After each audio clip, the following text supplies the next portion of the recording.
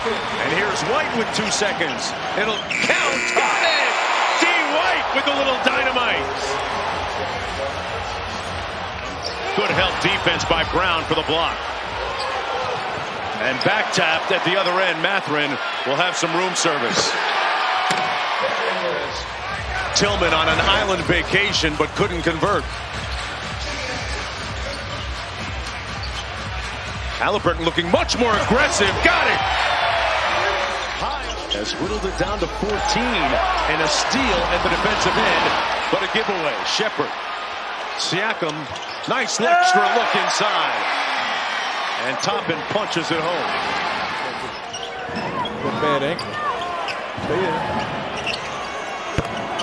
Tatum a deep three. And now it's a 10-point game. Mathurin playing with his food, almost got ripped. The steal, Brown at the other end, takes flight. And the surging defense by the Celtics. In this possession, it can't just be an isolation for Indiana.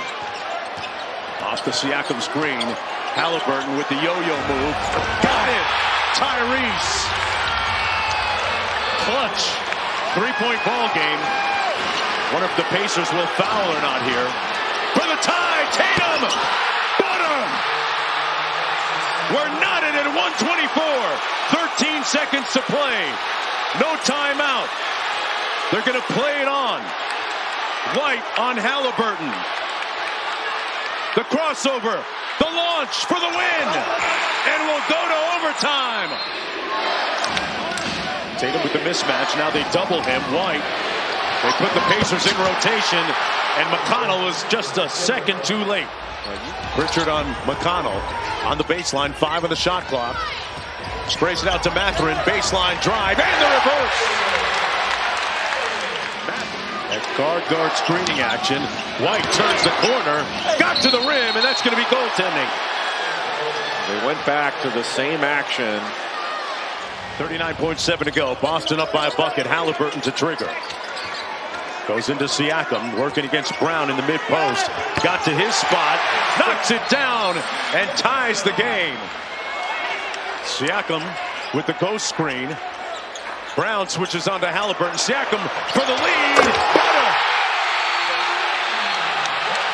Pacers lead. And there's the old okey doke. Tyrese Halliburton getting a little help from his Olympic teammate Derrick White to put this game on ice.